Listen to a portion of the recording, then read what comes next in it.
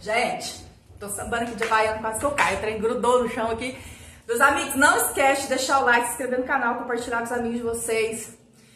Sempre que vocês deixam aí um comentário, gente, isso ajuda, e um like ajuda aos nossos vídeos a ter mais alcance das pessoas que ainda não conhecem a gente. Beleza, pessoal? Primeira coisa que eu quero dizer, me pediram para dizer qual foi o detox que eu fiz, que eu perdi 6 quilos em 7 dias. Ó, gente, mostrar aqui pra vocês, ó. Ó, pra quem acompanha meus vídeos, sabe meu bucho tava assim, ó. Eu não tinha mais cintura, gente, ó. Ó, diminuiu bastante.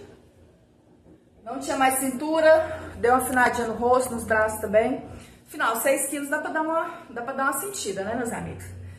E, e ainda continuo, tá? Não parei, não.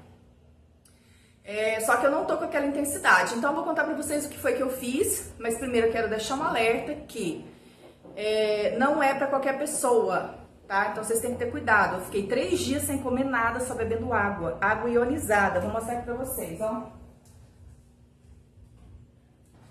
Três dias tomando água ionizada. Dessa jarra aqui, ó. Vocês encontram isso aqui no Mercado Livre. É só procurar jarra ionizada. Eu não vou falar a marca aqui que eu não tô sendo patrocinada. É, tomei ômega 3. Tomei cardo marinho e cloreto de magnésio. É, to, todos esses aí, eles ajudam na... O cardo marinho para desinflamar o fígado. O ômega 3 e o cloreto de magnésio, ele desinflama o geral. E é isso aí, eu tava toda inflamada, né, gente? Peso demais, gordura no fígado. E eu tive que mudar a alimentação de uma forma definitiva, não é só quando eu fiz o detox? E aí que eu fiz, eu fiquei três dias sem comer e já é a segunda vez que eu faço. A primeira vez que eu fiz, eu fiz com um acompanhamento médico, de um acupuntor, eu fiz sangria na coluna, eu tirei sangue aqui de, de toxina, que ela fica, ela fica aqui na coluna, é, concentrada na coluna, então eu fiz sangria. Fiz oito meses de acupuntura, perdi 30 quilos. Só que é a primeira vez eu fiquei nove dias sem comer. Mas não é qualquer pessoa, gente, que pode fazer isso. Então procura um médico, tá? A primeira vez eu procurei um médico, a segunda vez não, porque eu já conheço o meu organismo, eu já sabia do esquema desse detox. E aí o que eu fiz? Fiquei três dias sem comer, porque como dessa vez eu não tava tão ruim como da outra, não fiz os nove dias, fiz só três. E diminuí, que vocês podem ver na, nos vídeos, gordura. Eu tô usando um fiozinho de azeite na nossa comida do dia a dia. É, eliminei uma grande parte de carboidrato. Não tô comendo pão, não tô tem muita coisa, muito carboidrato que eu eliminei. E continuo tomando minha cervejinha, só que antes eu tomava tipo uma caixa no final de semana, agora eu tô tomando meia dúzia. Não tomo refrigerante, tomo muita água. É, tô fazendo jejum intermitente, tá, gente? Depois das 6 horas da tarde, até o outro dia, mais ou menos pelas 8 da manhã, eu não como nada. Eu fico tipo 14 horas sem comer nada. Mas como eu disse, gente, não pode fazer isso sem consultar o médico. Vai que você tem uma glicose baixa e desmaia, Deus me livre. Eu não quero ser culpada aí de uma tragédia, viu, gente? Então, presta atenção antes de fazer uma coisa dessa, tá? Eu faço porque, como eu falei, eu conheço meu organismo. E é isso, gente. Exercício físico eu não fiz nenhum. Porque, como eu fiquei muito, eu tive uma restrição alimentar muito grande, eu tava muito pesada, eu senti muita tontura. Gente, era uma tontura infernal, interminável. Eu parecia que eu tinha tomado uma garrafa de pinga o dia inteiro. Eu me levantava, o mundo girava. Isso aí é o processo de desintoxicação do organismo. Passou 10 dias, acabou a tontura. E eu me sinto muito melhor agora. E eu continuo fazendo, só que agora moderadamente. Então eu vou continuar perdendo peso, vocês vão ver aí nos vídeos no dia a dia só que agora de uma forma mais lenta. Falou, pessoal? Para quem me pediu, tá aí. Ah, e outra coisa, consumir saladinha de couve com limão, se possível, até no café da manhã. Gente, eu como salada de couve com limão no almoço, eu como salada de couve com limão na janta, eu como salada de couve com limão no, no, no lanche. E se me der fome de madrugada e eu não aguentar fazer o jejum intermitente, eu já tenho uma couve na geladeira. Porque ela limpa o seu organismo. Muita couve. Muitas pessoas tomam o suco da couve com limão. Eu não consigo, gente. Eu tentei tomar uma vez e vomitei. Então, quem consegue tomar o suco, muito bom, suco de couve com limão. Quem não consegue tomar o suco igual eu não consigo, come a saladinha picadinha fininha com limãozinho. Gente, pelo amor de Deus, não taca sal e azeite no negócio também não, porque senão vai melar a parada, tá? É consciente. Beleza, pessoal? É isso aí, já falei pra vocês que eu fiz, vou continuar fazendo, vocês vão continuar vendo o resultado. Eu quero saber do resultado de vocês aí também. Quem conseguir fazer e perder peso, deixa aqui nos comentários pra mim. Quem não tiver conseguindo fazer, também deixa que eu vou tentar orientar da melhor forma que eu puder. Beleza, pessoal? Bora fazer churrasco! Eu tenho aqui uma coxa sobre coxa. Eu não vou descartar a pele. A coxa sobre coxa tá ligada aqui. Eu não vou separar uma da outra. Eu vou desossar a coxa sobre coxa e deixar as duas ligadas, porque eu quero é um pedação de carne na churrasqueira, gente. Nada de miséria hoje. Ó, é só você ir aqui na... Gente, tem coisa mais fácil de desossar frango, não. Ó. Tirou aqui, é só ir descendo aqui que ele... A hora que você tira as embiras, né, que fica pregado, pronto. Ó. Agora você faz assim, ó. Esse aqui já era. Agora eu vou tirar da sobrecoxa. Ó. Ó. Saiu fora. Isso daqui é a nossa coxa e sobrecoxa que a gente vai fazer na brasa hoje. Já desossei, deixei esse ossinho aqui, gente, porque esse aqui dá um caldo de frango delicioso para colocar na sopa, fazer outra receita. Esse aqui eu congelo. Agora eu vou pegar um garfo e vou furar, ó. Vou colocar ali uma coisa que eu adoro, que é pimenta bode. Hoje os meninos não vão comer, porque eu falei pra vocês que um não tá aqui, a outra tá perrengue, né, Mari? É verdade. Tá dodói, né, amor? Sim. Quer que dó da funiguinha. Ó, gente, agora espirra um semente dentro do olho da menina.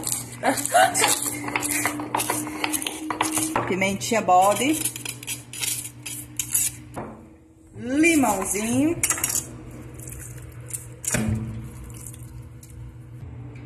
Ralar um dentinho de alho aqui por cima.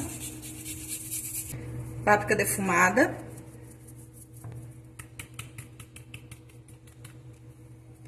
Ó, agora nós vamos esfregar aqui, gente, ó. E vamos deixar mais ou menos uma meia hora. Enquanto acende a churrasqueira, isso aqui vai ficar marinando. Voltei aqui, gente, porque eu esqueci do sal, viu? Alô? Que ia fazer churrasco sem sal. Ó, aí vocês colocam aqui um... Eu tô usando sal de parrilha. Eu vou usar nesse vinagrete que eu tenho aqui em casa. Um pedaço de pimentão vermelho, um amarelo. Gente, eu tô usando isso aqui pra aproveitar, porque vai semana que vem já vai começar a perder. Ó, um toco de cebola roxa, já tá querendo estragar. Um pedaço de cebola branca, três tomates, um pimentão verde, que esse aqui tá novo. Tá novo é da semana passada, mas como eu não cortei, não ia perder por agora. E aí, o que eu vou fazer? Eu gosto de tirar a pele e a semente do meu tomate do vinagrete. Quem não gostar, não precisa tirar, mas eu, eu tenho negócio de comer semente, eu tenho impressão que me faz mal.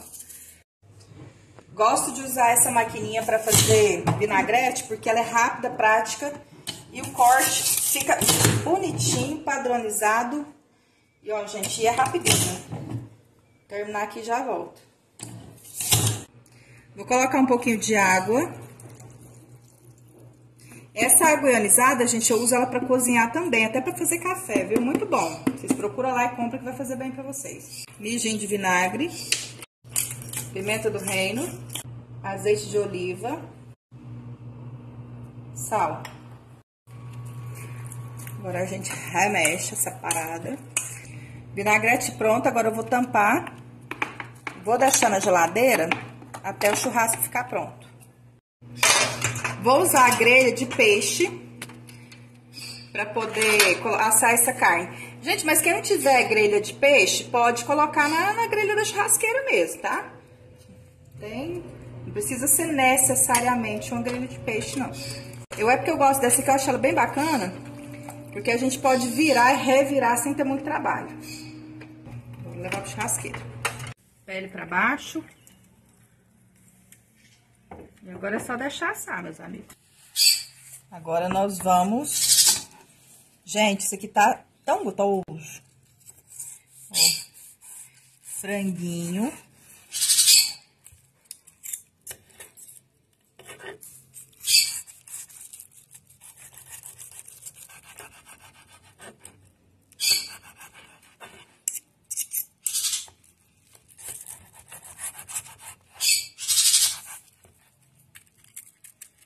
Deu uma crocânciazinha, gente, mas não foi muito, não. Porque pele de frango, vocês sabem como é que é, né, gente? Ela não fica pururucada igual o porco.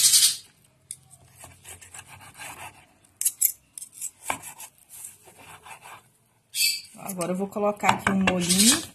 A gente põe aqui um molhinho chimichurri caseiro de mames, né, Mari? Sim. Coloca aqui uma farofa de piqui. Coloca aqui um vinagrete. Tudo na tábua mesmo, gente. Aqui não tem frescura, não. Ó. E agora nós vamos champar esse tanque pra dentro. Estão servidos, pessoal?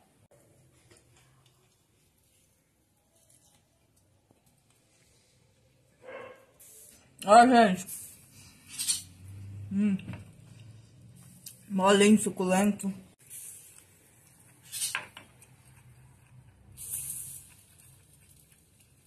Ficou bom, amor?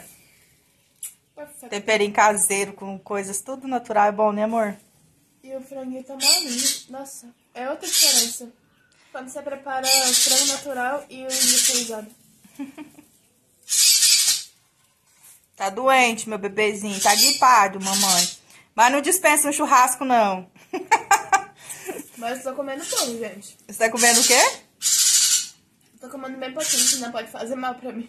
Ah, é? Eu acho, mas é tempero natural.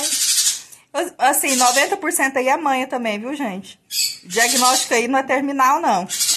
É isso aí, meus amigos. Agora eu vou aqui terminar de saborear minha cervecita. Uhul! A Mariana, ela é que as- eu sou aquelas mães assim que, meu Deus. Eu não tive sorte na vida. A mãe dessa. Gente, a situação da mãe. Mas você ama a mamãe, né, amor? Você ama a mamãe?